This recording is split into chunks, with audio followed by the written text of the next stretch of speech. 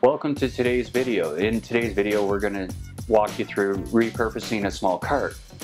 In this cart, this is Aaron's table and the top is broken. So Ray's taking it apart and preparing it. Ooh, wait for it.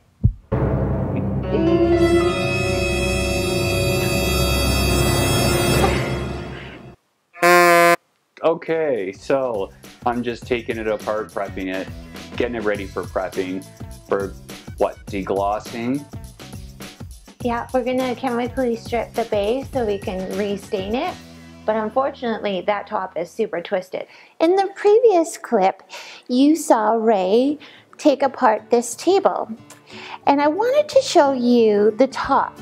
Now this top is badly warped and that's caused by excessive drying and wetting and drying and wetting without proper protection. The, warp, the wood top is now ruined and the client has requested us to build her a brand new one. Now, if you have a similar table like this at home, we strongly recommend to treat your table with a really good quality butcher block oil and conditioner. The oil and conditioner will repel the water and prevent the warping from happening.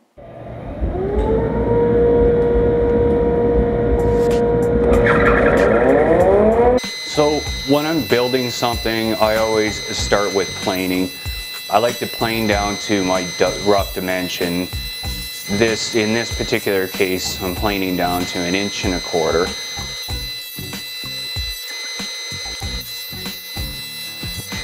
From there, I like to take it to the table saw and rip it to dimension. Always wear your safety glasses.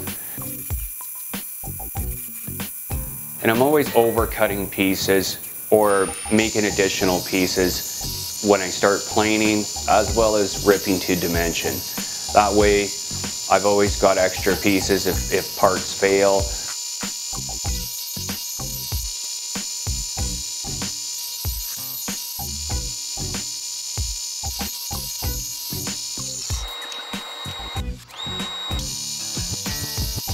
And I will say here, whenever I use a table saw, if you've used a micro jig, they're amazing. They're, I don't use a table saw without using a micro jig. It's just a great tool to have in the shop. So basically at this point, I've processed the wood to a, a rough dimension. So what I like to do at this point is, is lay it out, take my better pieces. You always want to overcut, make additional pieces because you're going to have pieces that fail. So I've laid this out to get the better pieces I can and this is over length. Now when you cut your width, you can cut it so it comes out to exact dimension or trim it at the end. Cut it oversized and trim it at the end. Right now, what I like to do is lay it out like this because I'm getting ready for glue up, which is up next, and then I'll just number my pieces.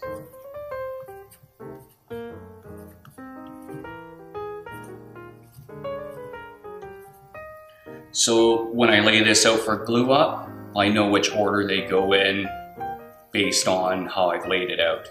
I've laid out my pieces, the number pieces corresponding to the way I laid them out originally. So now I'm just gonna laminate, put the glue on and laminate this up. A good wood glue, you can apply it, I just apply it with my finger as you'll see, but there are, there's rollers you can get to apply the glue, uh, chip brushes like this one, natural horsehair brush, uh, chip brush, and then, you know, an acid brush works too, whatever you're comfortable with. I just use my finger the wood glue that I used is a water-based wood glue and it's not toxic so I don't mind getting it on my finger. And I always keep a damp cloth handy mm, just to clean out my finger or any excess but also when you see when I put it together it's gonna have the squeeze out and I like to wipe off the squeeze out with a damp rag just to, to take off the excess. Makes it easier when you're sanding it and processing it beyond this point for, for finishing purposes.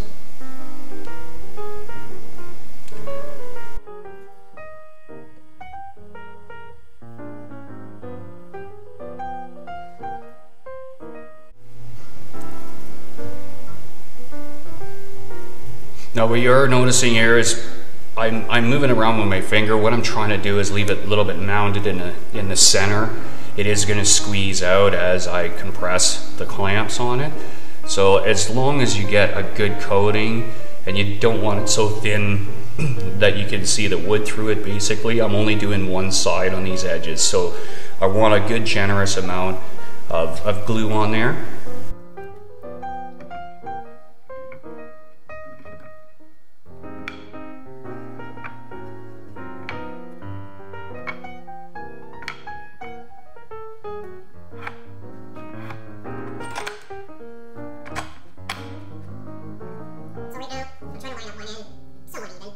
This is over length and I'm going to be cutting this down after. But I try and get one in fairly straight, not that it's crucial. You don't have to worry about that so much right now. And just press them all together. Make sure that they're sitting flat. You know, let's get it as flush as you can. And I just start to snug up one end typically. And just make sure they're down on the clamp. Now what I find almost inevitably, you're gonna get some, a little bit of stepping. I'm gonna process this further anyway, so that's not crucial. That we can sand that out after the fact. And you want a decent amount of pressure, but not too much.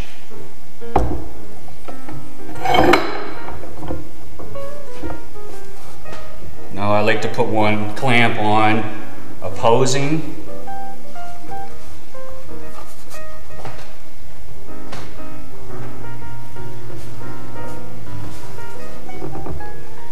Keep the pressure even.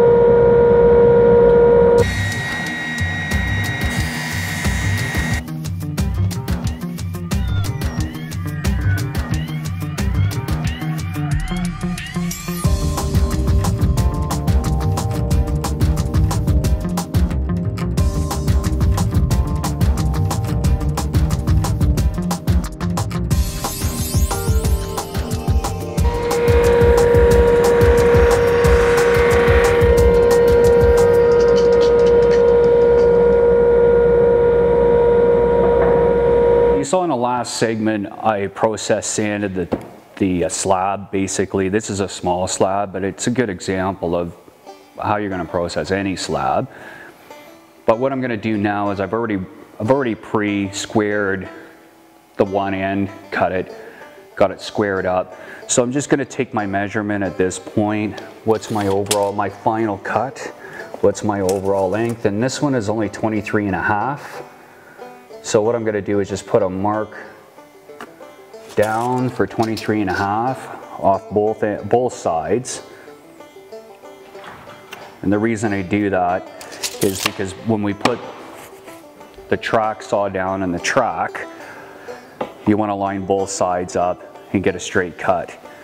So beyond that, I just wanted to talk about the SP6000 a little bit. It's a Makita track saw. It's a good alternative if you don't have a table saw or you don't want to spend a lot of money on a good table saw.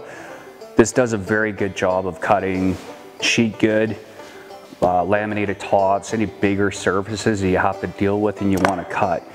In addition to the saw, this is the SP6000 here. This is the track. You can get it in a 10 foot track. And I'm gonna go into a, more of a tool review on this and my feelings on it. I've used this saw for a couple of years now, uh, maybe three years. And um, I'm just gonna give you a little feedback when I do a tool review on that. But in addition to that, I like to use the Festool quick clamps. These are a, a, a, very good clamp. They fit into the, the slot on the tracks so you can secure it down. Now typically when I'm doing a narrower piece like this or cross cut for example, I want to clamp it down and hold it in place. The track does tend to move around, I find, when, it, when I do that. So on a long cut, lengthwise, I use a 10 foot track. Cutting sheet, for example, I don't find I have to clamp it down, but with this, I like the added benefit or security that it's going to stay in place. The other thing I like to do with especially narrower pieces like this is take a spacer block and add it to each side off the, the further distance because when you clamp the ends down, it's going to want to bow the track and this helps prevent it bowing, keeps it more in line and flat. So I'm going to set up to do the cut now and stay tuned, I'll be right back.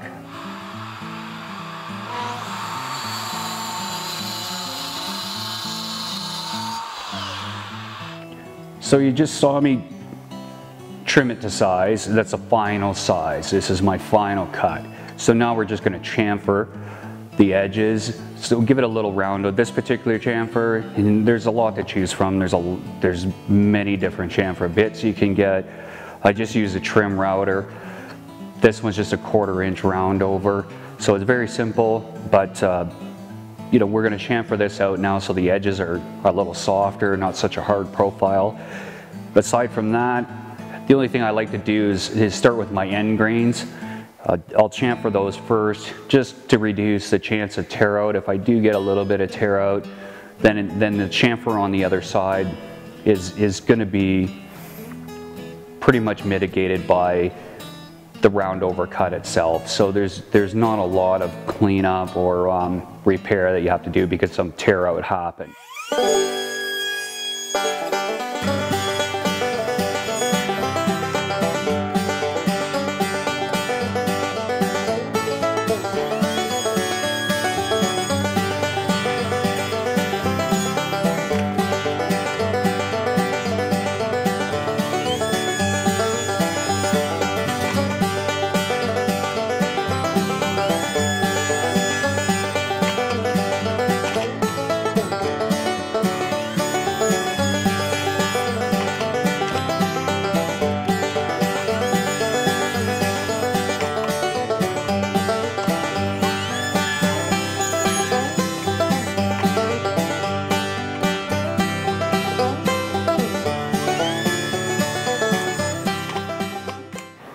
And now that I've said I wanted to limit my tearaway, the universe has just handed me a big steamy pile. so now I'm gonna have to address this. You could either repair this by filling it. It's a pretty good tearaway. I took another angle of this. Hopefully you can see it in the other, the other video, the other clip of the video, but it's about three inches long. It's, it's a good rip. So what I'm gonna do in this particular case, because this is an oversized top and I can get away with this, and I'm gonna trim it down on the table saw, take about an eighth of an inch off and reroute the edge. It's gonna happen. As soon as I said it was, I brought it up, it, it happened. So I think the wood whisperer says, you know, you're, and I'm paraphrasing here, but I, the sign of a good woodworker is how good you repair your, your mistakes. Uh, fortunately with this, I've got a little bit of leeway room so I can trim it down and reroute it. So that's what I'm gonna do.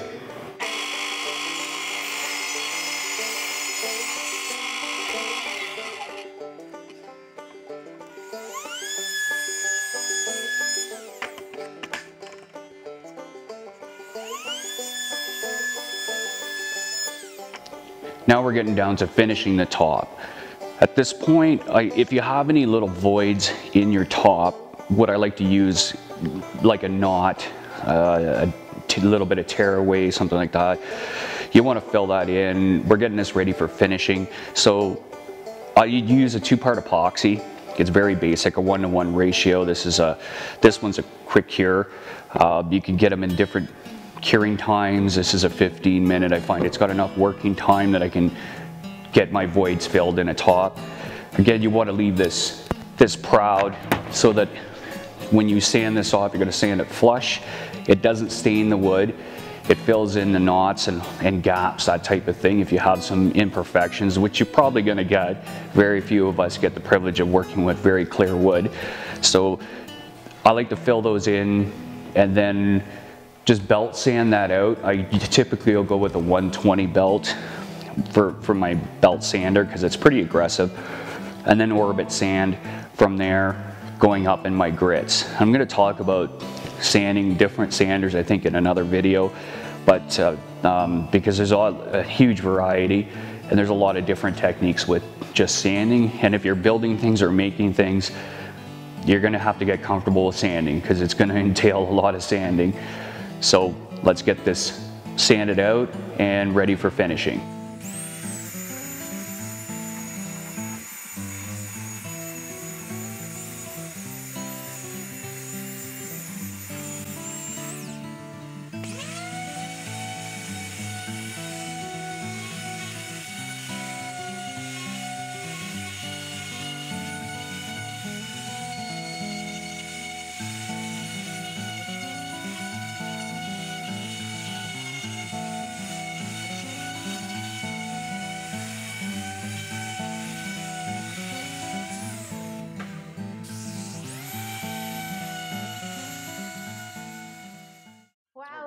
This tabletop looks awesome. It's all put back together now. Yeah, we come to the end of this video. This is really based, the purpose of this is to repurpose this cart. So we have three other videos on how to strip, mm -hmm. stain, and seal. It's a three-part series, which will walk you through stripping out. We had to strip out the base of this in order to restain it and reseal it. The top, I kind of walked you through the steps behind making a small slab.